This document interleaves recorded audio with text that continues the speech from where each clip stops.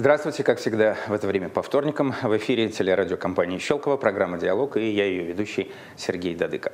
Напоминаю, что программа наша идет в прямом эфире. Вы можете звонить к нам в студии по телефонам 567-1440 и 567-1450 и задавать свои вопросы моей сегодняшней гости. А в гостях у меня сегодня заместитель руководителя администрации Щелковского муниципального района Наталья Тамбова. Здравствуйте, Наталья Владимировна. Здравствуйте. Сразу обозначу сферу вашей деятельности для наших зрителей, за что вы отвечаете.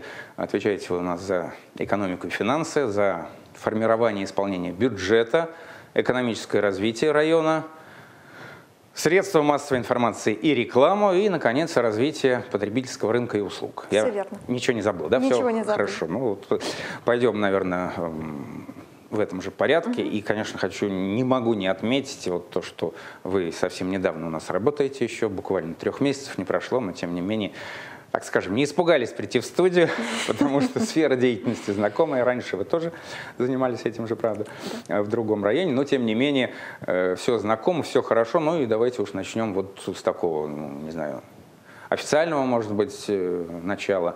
Э, это угу. экономическое развитие нашего района. Угу. Каково оно сейчас, особенно в свете, понятно, непростой экономической ситуации в стране но и о том, что у нас вот будет в ближайшее время. А, Сергей Михайлович, ну, конечно, говоря о том, а, насколько у нас а, хорошо идет экономическое развитие района, нужно не забывать, что мы не в вакууме живем, да, что, безусловно, нас окружают внешние факторы, внутренних проблем достаточно много. В прошлом году очень удачно району удалось избавиться от эм, а, кредитной нагрузки. Это большое достижение, прежде всего, руководителя администрации, который поставил эту задачу. Наша задача а, не войти в этом году в новые задолженности, правильно сформировать э, и в течение года удержать бюджет, потому что одно дело сформировать бюджет, а другое дело удержать бюджет, не вылезти за те нормативы, которые мы поставили. Э, с, с начала 2016 года бюджет формируется программным методом. То есть это говорит о том, что у нас сейчас у каждого поселения и у района в целом есть своя программа, где расходы очень четко а, прописываются. Это позволяет а, нам всем разговаривать на одном языке с поселениями. Это позволяет нам, а, безусловно, учитывать и изначально определять те источники расходов, э, э, которые необходимы. Э, но в, э, в целом, конечно, сейчас у нас э, то, что может волновать жителей, это, безусловно, наполняемость бюджета. Потому что все мы понимаем, что единственные источники дохода для бюджета района – это налоговые и неналоговые поступления. И э, кризис экономический, налоговые поступления сейчас э, и наша работа межведомственной, наша комиссия показала хорошие результаты. Мы действительно идем с опережением небольшим э, в плане городского городского бюджета и районного бюджета по наполняемости именно налоговых поступлений. А, это земельные налоги, это а, любые налоги, которые у нас, доходы, которые связаны с куплей с продажей земли.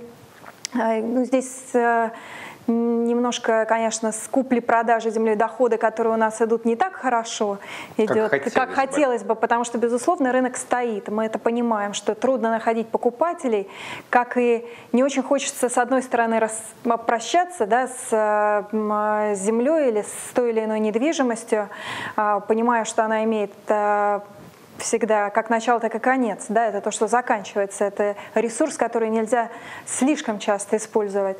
Но, безусловно, мы понимаем, что и рынок сейчас не совсем позволяет нам и устанавливать нужную нам цену, и как-то торговаться, и задешево не хочется отдавать, и задорого не получается, просто потому что экономика сейчас такая.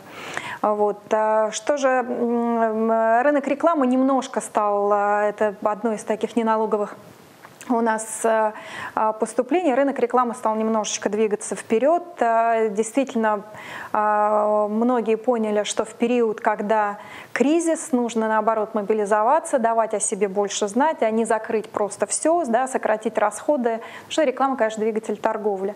Поэтому стараемся сейчас балансированно держать бюджет. У нас вот прошли Проходят корректировки сейчас городского поселения а, бюджета. На следующие э, и последующие недели у нас предстоят корректировки районного бюджета. Это делается планово для того, чтобы мы понимали, что если есть какие-то перерасходы, э, э, где-то корректировать, или наоборот, если у нас есть дополнительное поступление, а, и мы можем его оперативно направить на те или иные нужды. Ну вот э, если говорить о каких-то цифрах, да, угу. сейчас вот на главной странице сайта администрации угу. нашей районной э, есть такая рубрика исполнения бюджета. Угу. Там написано, что скоро открытие угу. этой самой рубрики, и что даже вот любой житель нашего района может угу. там предложить свой вариант бюджета и, как там сказано, в рекламной подписи к сайту, что если этот бюджет окажется лучшим, то мы его примем. Но пока сейчас речь не о том, как быстро откроется сайт, да, и как скоро будут приниматься бюджеты, принятые нашими гражданами, а именно вот о тех цифрах, э, там цифры показатель на май текущего года, о том, что э, доходы поступления в бюджет на 10% превышают расходы. Ну, в общем, такой хороший профицит, согласитесь. Да. да. И вот просто с чем это связано и каковы прогнозы на второй половину года? Может, там все изменится? Ох, прогнозировать, конечно, сложно. у нас э, очень сложно. Да? Мы, наверное, как и любой житель, всегда боимся августа, потому что у нас все время что-то в августе происходит в стране. Но на самом деле э, можно сказать, что, конечно, мобилизовалась. И страна в целом мобилизовалась, и, безусловно, и наш район как мобилизовался. Э, мы сейчас достаточно комфортно чувствуем себя в том бюджете, в котором э, он принят, а, те а, дополнительные а, поступления, которые у нас формируются в в большинстве своем, в данном случае только налоговыми поступлениями. Но это говорит только о качественности работы и взаимодействии с нашей налоговой службой, о, об ответственности наших предприятий, самих жителей по оплате налогов. Конечно, мы целиком и полностью от этого зависим. Ну, почему делаем мы исполнение бюджета открытым на сайте? Конечно, очень важно, чтобы Открытость власти была не только в том, что мы делаем, но и на что мы собираемся деньги тратить изначально. Да? А, мы понимаем, что сейчас основной источник информации это не столько газеты и какие-то печатные издания, мы ни в коем случае не преуменьшаем их роль, но это интернет. И э, молодежь у нас вся в интернете, очень э, хороший инструмент для того, чтобы донести и, возможно, привлечь э, внимание э, к активной э, молодежи с активной гражданской позиции, да, а, для того, чтобы у них была возможность высказать то или иное мнение по поводу направления а, расходов. И эти, ведь мы же общаемся с общественными организациями, для того и созданы там и формируются советы депутатов, на которых, на комиссиях которых идет предварительное обсуждение там, направления расходов.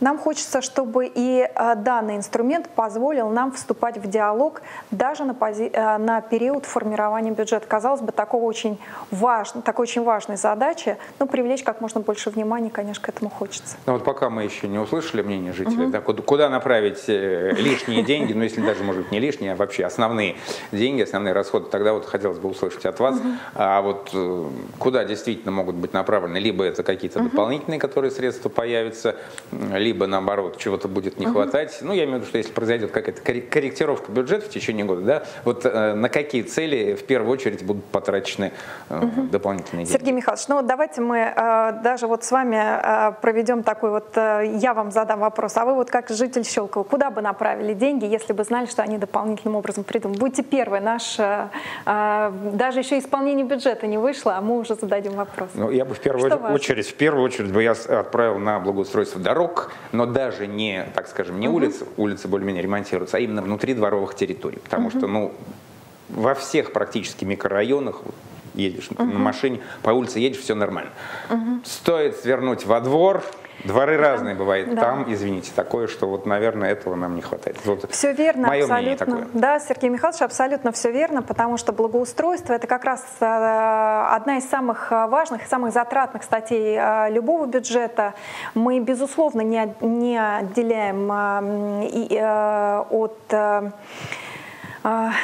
других вопросов, вопроса ЖКХ, ну, на, не надо забывать, что у нас исполнение бюджета, да, деньги, которые мы зарабатываем, которые приходят, и напол, чем наполняется бюджет, они могут быть, конечно, направлены на исполнение наших полномочий. И наши полномочия – это содержание и обеспечение социальных объектов. Вот сейчас большое количество детских садов и школ там э, строится и планируется построиться, но, конечно, их нужно и содержать, соответственно, мы должны обеспечить наличие денежных средств в бюджете, потому что мало построить, важно содержать, это обеспечить. Э, и, э, конечно, техническое оснащение, материальное оснащение того или иного здания. Детский сад строим там в Медвежьих озерах, нужно побеспокоиться о том, а, чтобы денежные средства в бюджете были заложены. При формировании бюджета денежные средства не были предусмотрены, скажем, вот в отношении новостроящихся денежных, э, новостроящихся садов не были предусмотрены денежные средства в бюджете. Но вот сейчас за счет и дополнительных, э, можно так сказать, поступлений, а, за счет сформировавшейся экономии, которая у нас формируется при торгах, мы имеем возможность потратить, где-то сделать э, дороги, направить на ЖКХ, где-то обустроить наши социальные объекты. Это две первоочередные задачи, о которых мы должны думать. Всем хочется выйти из дома и увидеть красивую улицу, чистую улицу, потому что, конечно, это благоустройство это не только чистота, э, качество дороги, но и прежде всего чистота. Ну и тогда уже под конец этой нашей финансовой темы такой риторический вопрос, uh-huh. понятно, где еще взять деньги, да, не, не просто в тумбочке, а просто, ну понятно, что налоги собирать надо, uh-huh. в первую очередь, конечно, надо платить, здесь важен контроль и добросовестность uh-huh. плательщиков налогов, тут как бы uh-huh. понятно, но вот вы упомянули о неналоговых поступлениях, в частности, uh-huh. От рекламы какие-то доходы. Какие еще э, неналоговые поступления могут быть помимо рекламы? Которые существенно бы нашу картину изменили бы да, в отношении бюджета, наверное, э, их достаточно немного. А, мне бы, конечно, как э, руководителю, от которого в том числе зависит, как беспокоиться о, том, как наполняется а, бюджет района, э, ну, хотелось бы обратиться и немножко отстраненно, конечно, от бюджета, но с жителями поговорить о том, что надо регулярно все-таки платить за услуги ЖКХ. Понятно, что есть а, проблемы и не всегда есть понимание, куда платить, есть какие-то двойные квитанции, но все равно всегда это можно прояснить, можно прийти а, и эту информацию а, выяснить. Но когда идут задолженности за энергоресурсы, мы тоже испытываем большие проблемы в этом плане. Ну и всячески будем стараться, стараться бороться с ненадлежащими плательщиками, с некачественными плательщиками, а, потому что одно тянет другое. Вот все взаимосвязано. Э, не заплатили за энергоресурсы, нам э, э, возникают сложности управляющих компаний, у ресурсных компаний, и одно другое начинает, их надо содержать, они приходят, обращаются за помощью, надо содержать дома, появляются у жителей дополнительные проблемы, то есть оно вот так вот циклично, поэтому от каждого зависит, и от нас зависит, от нас зависит работа, конечно, с, больше с налоговыми налоговыми поступлениями, больше с активами района. А от каждого жителя, конечно, персональная ответственность на себе. Начни с себя. Но здесь речь будет идти, наверное, только, не только об ответственности граждан, но и об удобстве их, э, чтобы да деньги они отдавали вовремя и по назначению, и не испытывали при этом неудобств, не стояли в очередях в разные конторы, э, потому что очень много приходится разными услугами пользоваться, как мы их называем. И государственные есть услуги, и муниципальные да. услуги. Ну и вот поэтому как раз для удобства наших жителей в прошлом году был открыт многофункциональный центр оказания этих самых услуг. В апреле ему год исполнился. Угу с каждым днем он развивался. Понятно, что, конечно, поначалу проблемы были, особенно в подборе кадров. Э, ну, сложно было найти такой да, коллектив. Да. Вот за год вроде как уже все сработались. Жители тоже вроде бы довольны. И э, даже, так скажем, проверки областного уровня показывают, что э, наш МФЦ, в общем-то, достоин э, той оценки, которую, угу. которую говорят и как бы наши жители. Вот у нас есть один небольшой сюжет о том, как, как именно проверяли работу МФЦ угу. именно на региональном угу. уровне. Давайте посмотрим, Давайте. потом еще поговорим. Проверить на себе. Примерно так можно назвать проверку работы многофункционального центра предоставления государственных и муниципальных услуг Щелковского района, которую провела заместитель министра государственного управления информационных технологий и связи Московской области Елена Дрыганова. Она лично находилась в роли оператора, в окне под номером 23 на протяжении нескольких часов принимала граждан, обратившихся в МФЦ. Сейчас, когда в перечень услуг вошел и целый ряд вопросов, составляющих социальный блок, количество оказываемых услуг достигло цифры 500. Уже специально построены под МФЦ здания, поэтому учтены все тонкости работы, то есть учтены возможности приема людей с ограниченными возможностями, сделана вся инфраструктура доступной среды, предусмотрена большая зона ожидания, детский блок. В общем, прекрасно организован МФЦ. Ну, вот такая ситуация, внеплановая проверка, хотя, может быть и плановая, но все равно достаточно оригинальная, показала, что МФЦ наш работает. И вот к той цифре, которая прозвучала в сюжете, да, что количество оказываемых услуг приблизилось уже э, к пяти сотням, да, на самом деле еще вот по количеству обслуженных людей, понятно, что, может быть, это не, не всего столько прошло, а кто-то ходил много раз, но, тем не менее, э, за год МФЦ хватило половину населения нашего города, не района, а именно да? города Щелково по тому, сколько людей прошли, в общем, достаточно высокие показатели, э, жители тоже довольны. Но вот хотелось бы от вас, как специалиста, услышать вообще, по каким показателям оценивается угу. рейтинг МФЦ, его работа? Угу. Проверка, кстати, была абсолютно внеплановая. Это была инициатива министра Максута Игоревича Шадаева сделать такую проверку э, со стороны руководителей э, самого министерства, да, для того, чтобы и в том числе им было понятно, как, как работают многие вещи на местах. Потому что одно дело мы как-то презентуем себя, каждый старается показать свои плюсы, другое дело это увидеть это э, э, изнутри. Э, действительно, проверка прошла хорошо.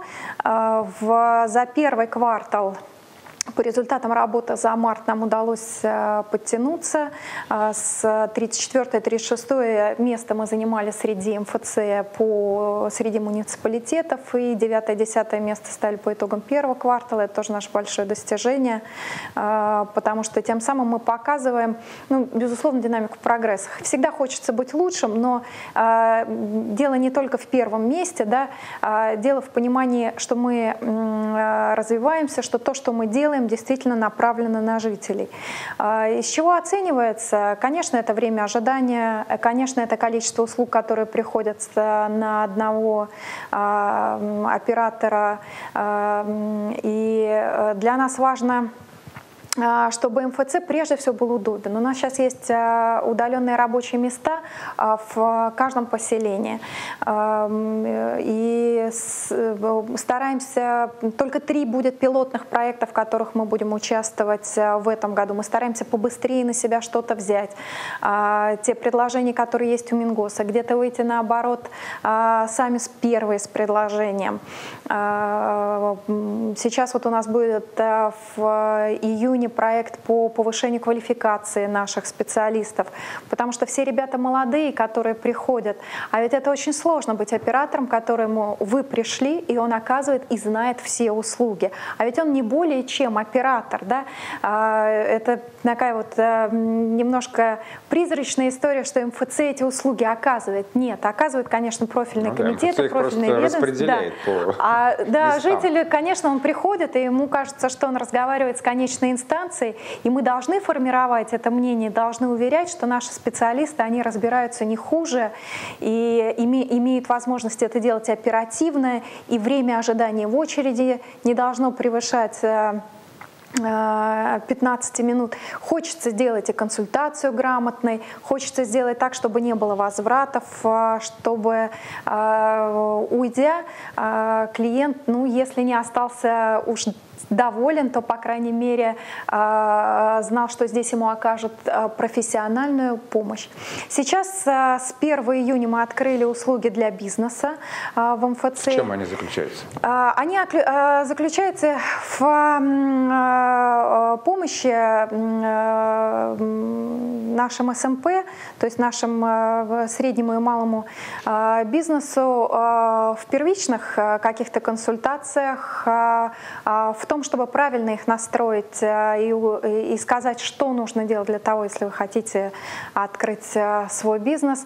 Это очень важно, а, потому что это, это точно должно быть легко. Мы сейчас говорим о росте экономики, как раз вот они, налоговые поступления, вот они, а, перечисления НДФЛов, да, налог э, с, на доходы с физических лиц, которые поступают нам в бюджет. Да. Конечно, мы заинтересованы в том, чтобы как можно больше предпринимателей было зарегистрировано у нас э, в районе и э, Несколько было районов, которые открыли э, эту услугу с 1 июня, попали в, этот пилотный проект Министерства государственного управления. Рада, что это хорошо получилось, и сейчас это доступно. Что, безусловно, помогает. Ну а куда пойти за э, профессиональной консультацией, тем более, которая оказывается бесплатно?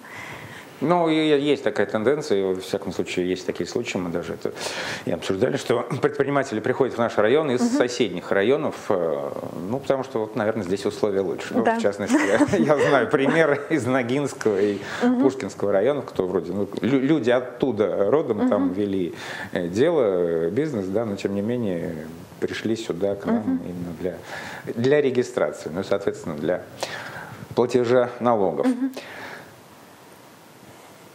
Продолжим тогда. Да, Потребительский давайте. рынок и услуги, это, наверное, будет ближе всего, да. потому что... Сложная тема, да. Потому что бюджет это так, он далек от простого жителя, угу. да. МФЦ, конечно, услуги такие, государственные, муниципальные, они нужны, но тоже, наверное, не так часто с ними сталкиваются. Угу. Все-таки люди, может быть, раз в год, а может и чаще, может угу. даже реже. Вот. Ну а рынок и услуги это, естественно, пользуемся практически каждый день, конечно. Мы и в магазин ходим, и на рынок, и какие-то да. предприятия бытового обслуживания, так скажем, посещаем. Э, но вот сейчас, насколько я знаю, такая у нас идет э, направленность, такая тенденция, да, это контроль за, на региональном уровне, конечно, контроль за реализации алкоголя. Угу. В первую очередь это, конечно, да. чтобы не было нарушений, не продавали в ночное время, не продавали несовершеннолетним. Программа даже так и называется Сейчас э, алкоконтроль, да. Э, алкоконтроль, да, хэштег, решетка, угу. алкоконтроль. Э, буквально неделю назад, я знаю, проводили рейды. Но это угу. я взял с сайта, естественно. Конечно, да. Министерство, областного министерства потребительского рынка о том, что самые такие интересные районы проводили Барвиха угу. и так далее. В общем, по Рублево-Уценскому шоссе очень много там нарушений было. В итоге там и и штрафы наложили, и вроде как даже предприятия собираются закрывать, я имею в виду предприятия торговли. У нас как обстоят дела в ночное время и угу. несовершеннолетним? Проверяем, наказываем? Конечно, проверяем, конечно, наказываем. А здесь вопрос, а, безусловно, что это должно быть выстроено в систему. Мы не так давно начали этим заниматься, не буду этого скрывать. Э, э, это то, что а, и Министерство потребительского рынка нам абсолютно правильно говорит. Вот здесь нельзя сбавлять темп. Э, потому что мы понимаем, что вот э, в ряде случаев, к сожалению, э, к очень большому сожалению, ну, сколько предпринимателей не говори, ну, ну надо только лишать, да, вот не хотят слышать, не хотят понимать, и иногда, я говорю, идут в погоне за белым кроликом, ну, за тем самым рублем, где-то попирая вот не только нормы закона, но и даже моральные принципы. Да, когда мы продаем алкоголь несовершеннолетнему ребенку, зачастую не думаем о том, что это дальше вырастет э, в какую-то проблему, а потом мы жалуемся о том, что у нас повышается преступность. Ну, просто э, вот э, это к началу нашего разговора. Надо понимать, что делая одно дело, оно все равно оно э, очень цикличное, и оно потянет за собой другое. Одно плохое дело, оно хорошее за собой никогда не приведет. Э, да, сейчас э, из 1 июня Министерство потребительского рынка а, вводит а, новую систему контроля по продаже алкоголя. И эта система контроля будет заключаться в установке дополнительного программного обеспечения на кассовые аппараты тех предприятий, а, которые у нас занимаются продажей спиртных напитков. И при продаже алкогольной продукции при сканировании выходит чек, на чеке находится QR-код, вы можете отсканировать QR-код, там будет видна, видна информация о производителе, где выпущено, а, кто дистрибьютор. Это такая единая система, которая позволит и на нашем уровне, и, естественно, на региональном уровне а, держать этот вопрос еще на более жестком контроле.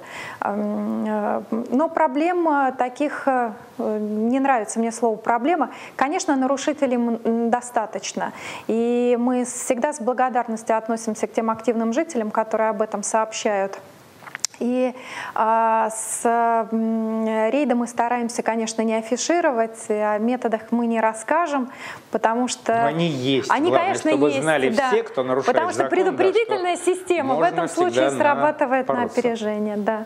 А так, конечно, а, мы а, выработали сейчас для себя так называемую дорожную карту этих мероприятий, и нам хочется очистить от этого район и, безусловно, показать, что а, порядок это не только, а, он должен быть не только на улицах, он должен быть не только в общественных местах, он должен быть и внутри тех заведений, которые работают у нас э, на территории района.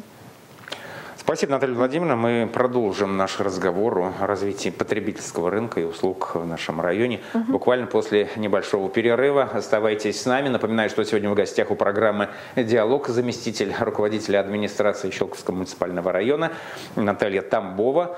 Напоминаю, телефонной студии 567 1440, 567 1450. Оставайтесь с нами и звоните после небольшого перерыва.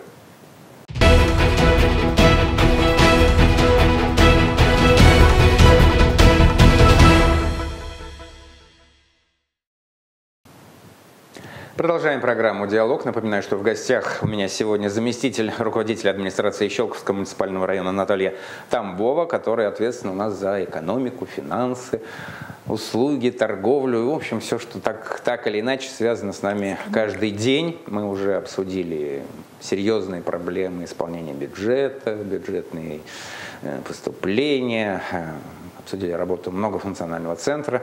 Вот перешли, наконец, к потребительскому рынку, обсудили контроль за продажей алкоголя во всех его, так сказать, ипостасях, да, и в ночное время, и несовершеннолетним, и контрафактную продукцию как будут пресекать, продавать, но пойдем дальше, не, говорится, не алкоголем одним жив наш рынок, естественно, надо нам и одеваться, и питаться, и кушать, вот э, хотелось бы узнать, как у нас обстоят дела с открытием новых точек, потому что экономическая ситуация пока еще не, не блестящая. Э, конечно, мы приветствуем открытие, приход индивидуальных предпринимателей. Этому нельзя препятствовать ни в коем случае. Э, нам хочется, чтобы разные сегменты и социально-бытовые сегменты развивались. Это сфера услуг э, должно быть достаточно как кафе, парикмахерских, так и мест продажи продуктов питания. То есть здесь всегда нужно держать тот самый баланс для того, чтобы не было перегибов перегибов ни, ни одну, ни в другую сторону. Но э, что могу сказать? У нас нет пока мы ее формируем, общую концепцию а, размещения точек на районе. А, так же, как и а, на следующей неделе у нас и то, с чего мы начали, это с подготовкой к плану размещения и к формату размещения тех же самых нестационарных торговых объектов.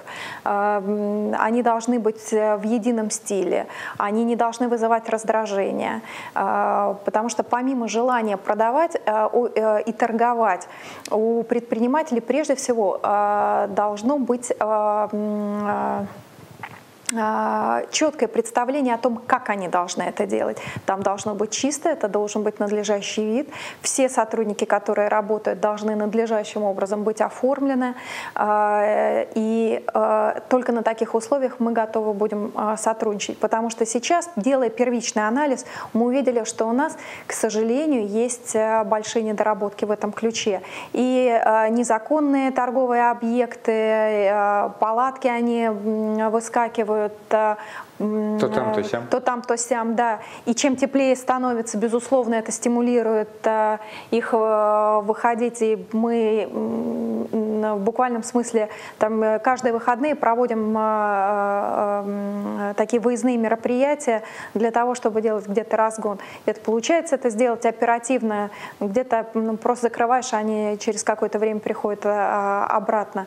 Я уверена, что нам к следующему году удастся абсолютно точно прийти к жесткой картине. Мы также хотим сделать эту информацию визуально доступной по всем точкам, которые официальные, точки продажи сезонной продукции, ярмарочной продукции, нестационарные торговые объекты. Все они а, стационарные торговые объекты будут нанесены на карту с паспортом. А, вы сможете а, в онлайне со следующего года, это большая работа, по всему району она будет сделана, но вы сможете в онлайне увидеть э, на сайте, в приложении на телефоне, увидеть информацию по каждому объекту.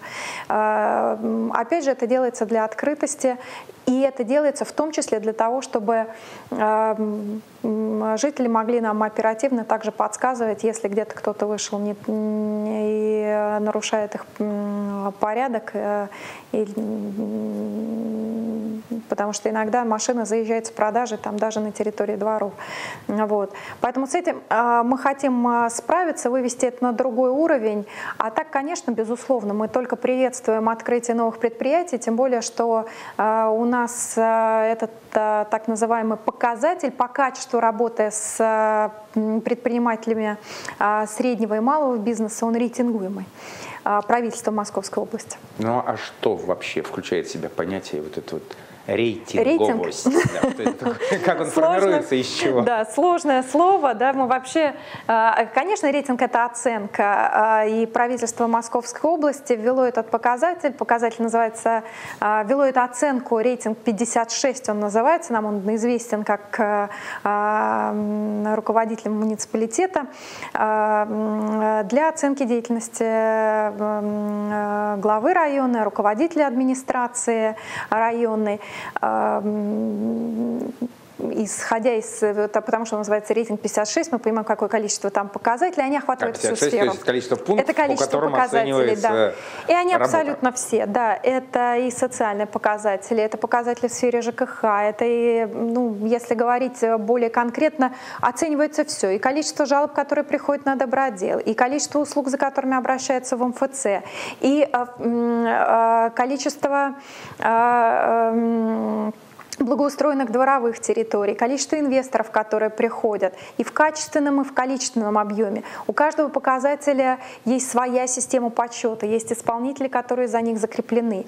А в прошлом году, по результатам а, прошлого года и системы оценки, а этот показатель начал так активно работать и оценится правительством именно в прошлом году, наш район а, был на 56-м месте.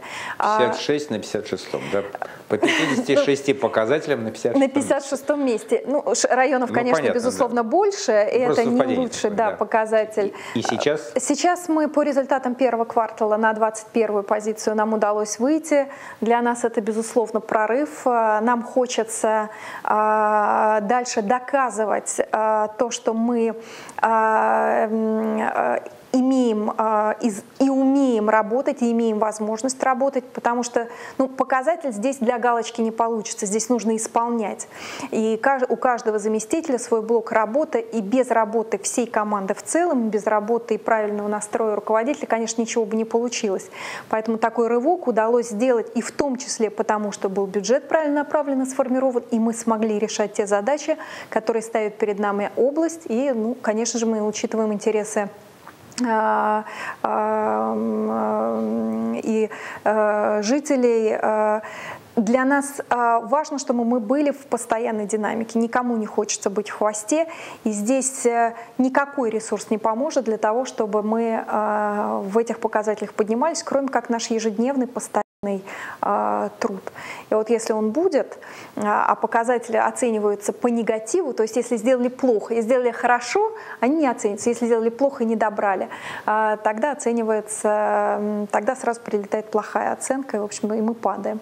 Поэтому результаты работы первого квартала нас вдохновили, обнадежили, обнадежили да, и ну, будем и стараться дает, двигаться для дальше. дальнейшей работы. Да. Но вот вы упомянули о том, что как раз будет совещание, на котором будет утвержден утвержден план размещения угу. всяких торговых и прочих объектов в нашем городе и районе.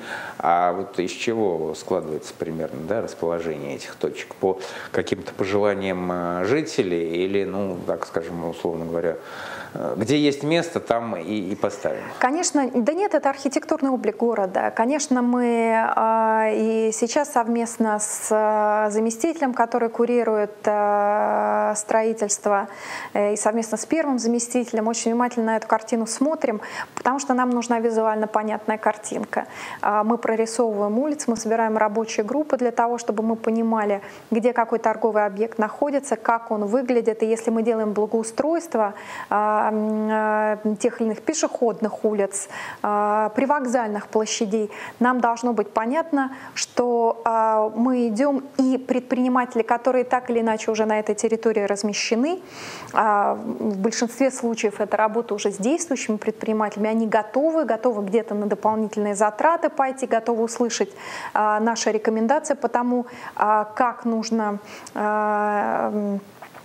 благоустроить а, близлежащую территорию и видоизменить себя для того, чтобы там находиться в дальнейшем. Это такая большая плановая работа. Э, началась она только в этом году.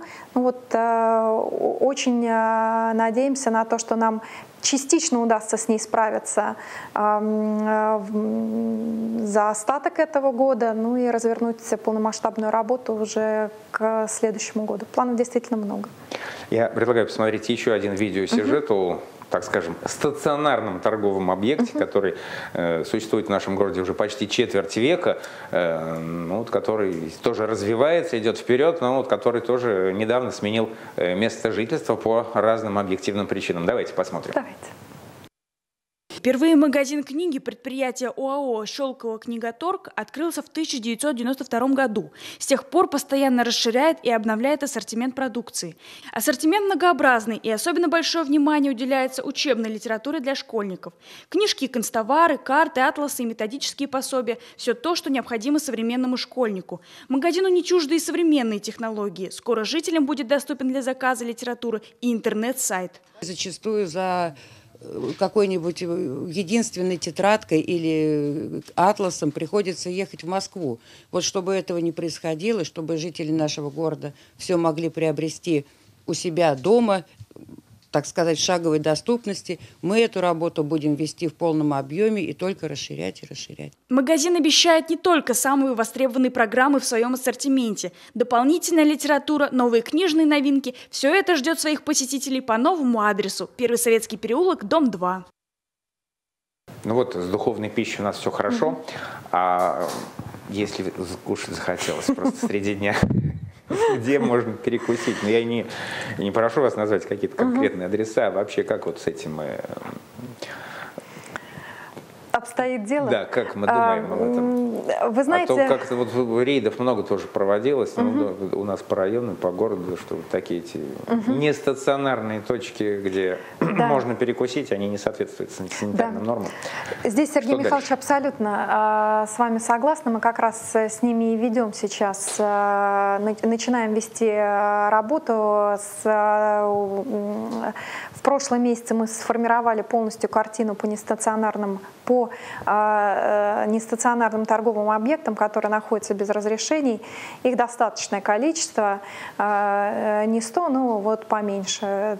Цифра к этому приближается. И вот сейчас мы будем, конечно, заниматься активно работой с теми э, недобросовестными предпринимателями, которые э, считают позволительным себе, не имея никаких разрешительных документов и на то оснований, а зачастую одно следует за другим, то есть и документов, которые позволяют им а, заниматься этой деятельностью, а, приезжая к нам в район для того, чтобы, в общем-то, встал и начинаешь торговать. А, э, конечно, нехватка качественных и хороших э, точек э, питания в районе есть. Э, ну, им, безусловно, создает конкуренция да, вот и, те, и те нестационарные объекты, потому что это дешевле. Там не надо вкладываться, это не нужно помещение, ты приехал, начинаешь торговлю.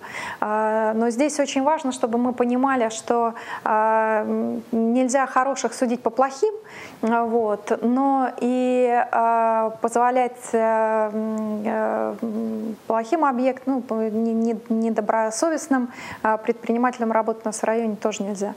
Эм, э, будем стараться регулировать это и учитывать при уже, мы, как вот я вам говорила, общаемся с заместителем, который курирует непосредственно строительство, тоже общаемся, конечно, когда формируются облики тех или иных улиц, какие точки питания хотелось бы видеть, потому что к нам приходят запросы, запросы от, э, в наше управление приходят запросы э, от предпринимателей. Нам хочется, чтобы их интересы от готовых предпринимателей, которые готовы именно вкладываться, делать все э, цивилизованным, культурным образом, чтобы и житель получал от этого удовольствие, и они получали свой заработок. Но вот будем стараться находить компромисс только совместными усилиями, только в диалоге. Это очень важно, быть максимально открытым открытыми со стороны э, власти, потому что тогда расширяются границы для любого сотрудничества, и э, они более понятны и перспективны.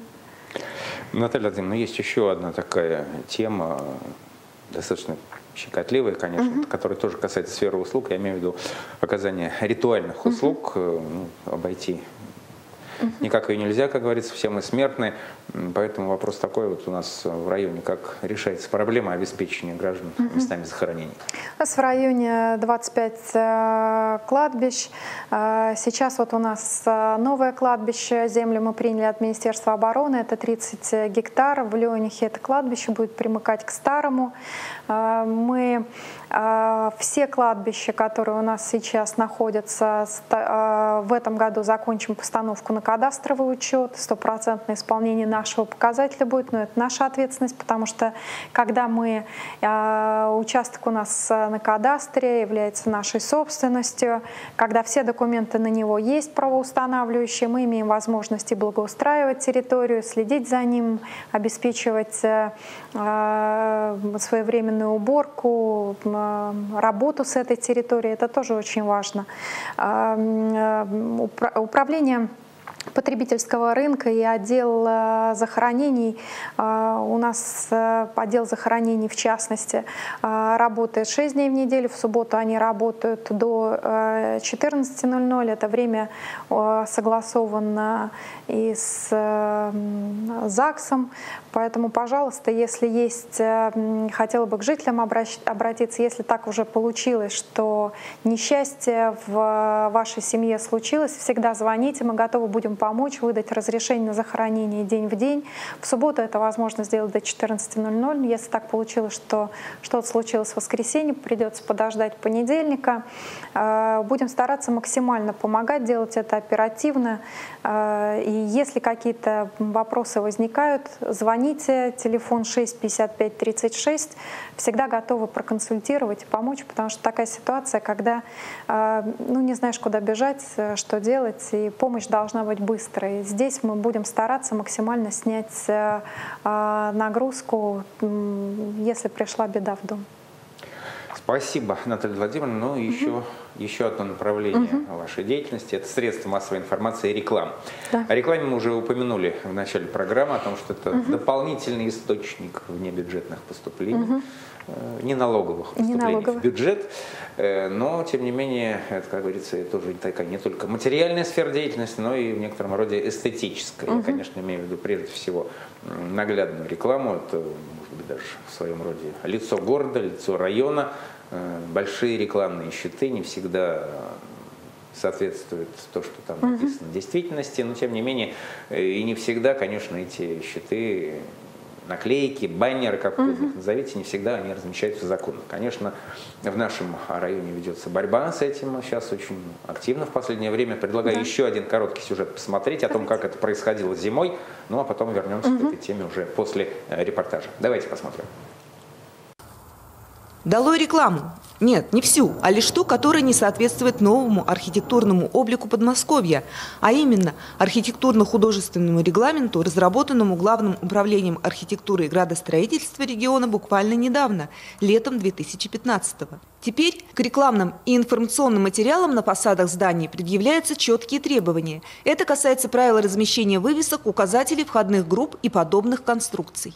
Она не может э, быть сделана из баннера, из картона, из бумаги, нанесена краской на фасад. То есть это должна быть нормальная добротная конструкция, как минимум в виде светового короба, а если далее идти, то это может быть буквы отдельно стоящие, либо буквы на подложке.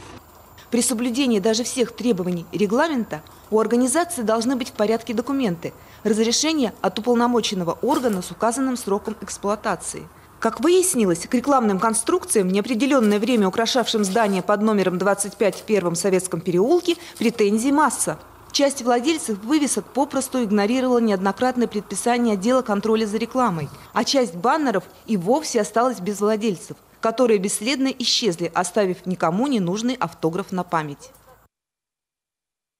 Ну, как у нас сейчас дела обстоят с, с ликвидацией незаконной рекламы, на которая действительно портит облик нашего города и других населенных угу. Сергей Михайлович, ну, конечно, у нас э, э, в большинстве случаев только борьба. Мы понимаем, что реклама – двигатель торговли, но э, э, мы, получается, э, не знаю, мне кажется, мы больше тратим денег предпринимателей, которые стараются разместить свою рекламу в неположенных местах на ее постоянное изготовление, чем нежели а, вот, они могли бы точно использовать их э, намного эффективней. А, иногда, объезжая один дом, а, ты только снял рекламу, на утро она уже опять выросла. Не надо тратить, э, вот хотела бы действительно обратиться к ним для того, чтобы не тратить ни, ни свое, ни наше время, сделать что-то полезное в этот период. Ну, нужно использовать цивилизованные методы методы продвижения своего товара если э, эти нормы придумали э, не мы, это не моя инициатива лично, не, не, не инициатива главы города или главы района э, или руководителя администрации, есть э, установленные нормативы, есть э, принятые нормативы, которым нужно следовать. Поэтому в зависимости от того, какая у вас рекламная конструкция, выносная или она э, размещена на здании, или вы хотите а, повесить э, плакат, сделать перетяжку, все что угодно. Пожалуйста, обратитесь в управление рекламы, прежде чем потратить свои деньги. Обратитесь в администрацию, в районную спросите, как это делать, если вы не знаете каких-то моментов. Мы подскажем, мы позволим вам не тратить свои деньги просто впустую.